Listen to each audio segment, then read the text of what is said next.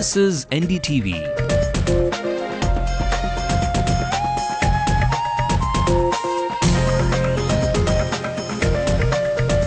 And you're watching NDTV Hindu.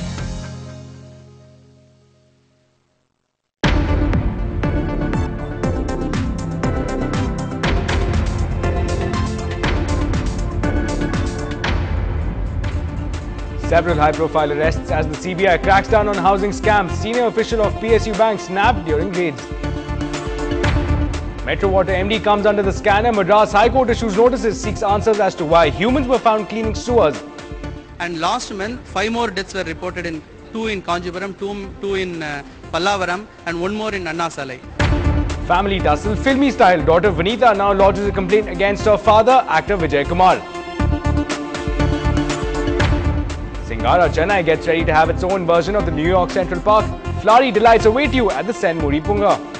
We have designed the Semmozhi Poonga as a work of art. Instituting ideas and a landmark to work the grey matter. It certainly was a big debate or rather a battle of the ideas. if technology had really helped, if those Facebook uh, posts had helped, Sarat Babu wouldn't be sitting here at the Battle of Ideas in Chennai. He'd be sitting in Delhi twiddling his thumb and wondering when Parliament is going to reconvene. And meet the artist who can put Sketch My Profile picture application on Facebook to shame.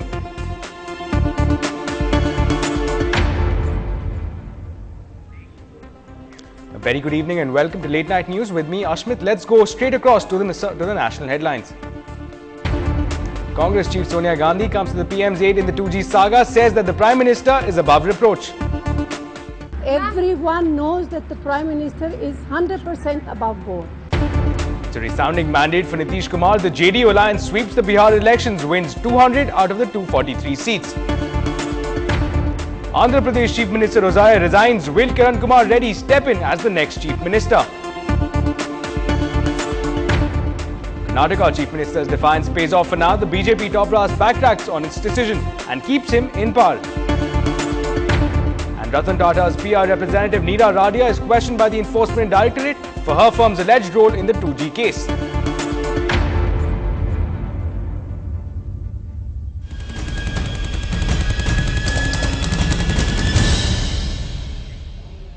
Now, in the big story this evening that has wrestled the attention away from political heavyweights, we are staring at a multi-crore scam. Only this time, it seems to be emanating from corporate India and not men in white.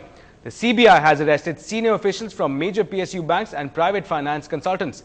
In what the CBI is claiming to be a multi-crore scam, the officials of major PSU banks had extended large sums of corporate loans in return for bribes.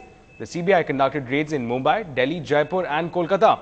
The CBI claims that during the raids, incriminating evidence has been collected against those arrested today. Now, this comes on the back of the massive 1.76 uh, crore 2G spectrum scam that shook the very foundation of even the strongest of political players.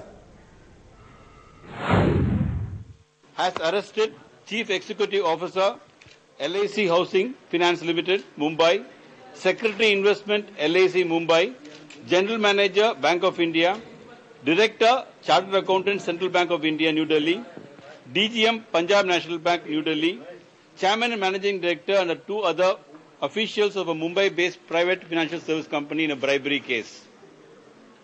The CBI has busted a racket wherein a private financial service company, its CMD and associates were allegedly bribing senior officials of public sector banks and financial institutions, facilitating large-scale corporate loans.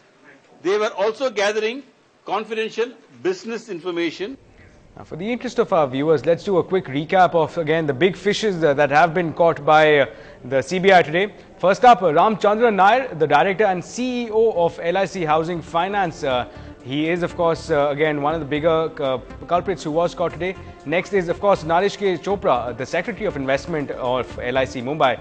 Now, Arun Tayal, uh, the General Manager of Bank of India, a significant player, there was also caught. Maninder Singh, also with the, the Central Bank of India. Again, he's the director there. Uh, then also we have uh, Venkoba Gujjal, Deputy General Manager of the PNB, one of the biggest uh, banks in the country. Rajesh Sharma with the CMD of Money Matters, of course, uh, the private uh, player that we have been discussing. Suresh Gattani and Sanjay Sharma also from Money Matters were arrested by the CBI.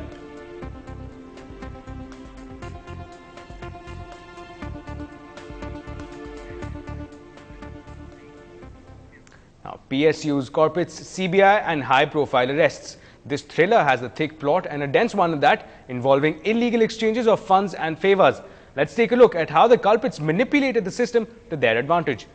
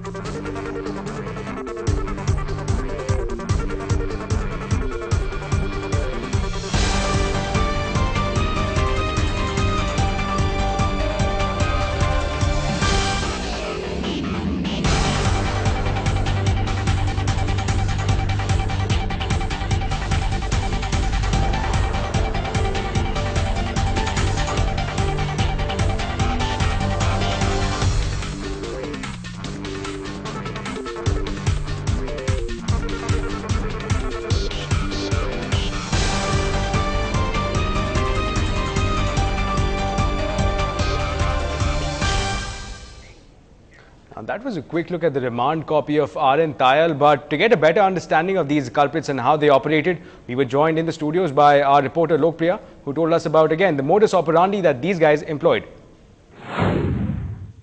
Have access to almost three remand copies between the uh, senior officials of the PSU and the private sector body. The, pri- the prima facie, the contention over here is that the top officials of these private bodies were, uh, uh, of, uh, top officials of the PSUs were in fact uh, helping the middlemen, that is the private bodies in getting them loans and they received kickbacks. That is the prime contention over there.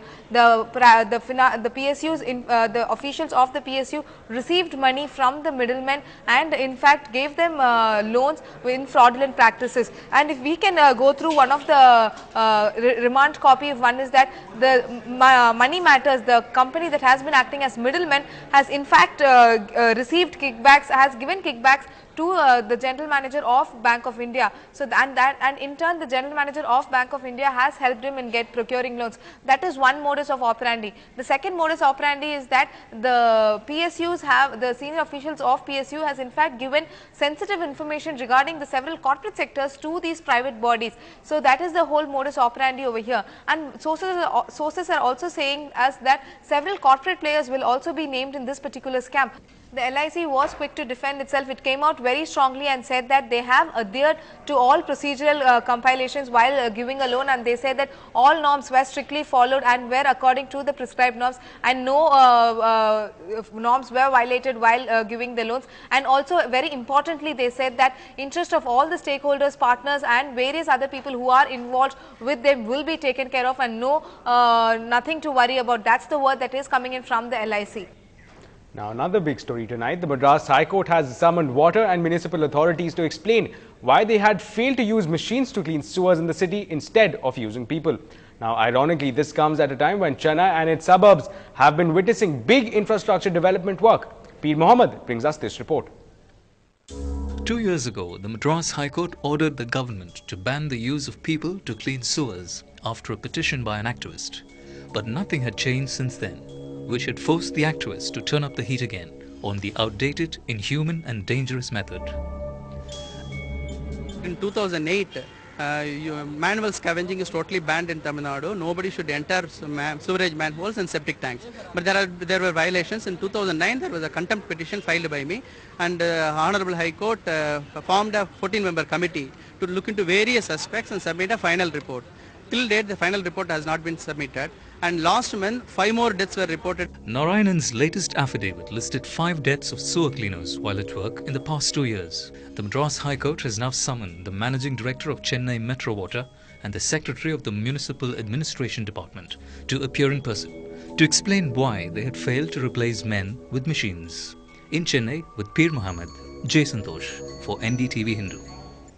Right now, two chief ministers of the south and two very different stories. We get you both Yediyurappa and Rosaiah on the other side.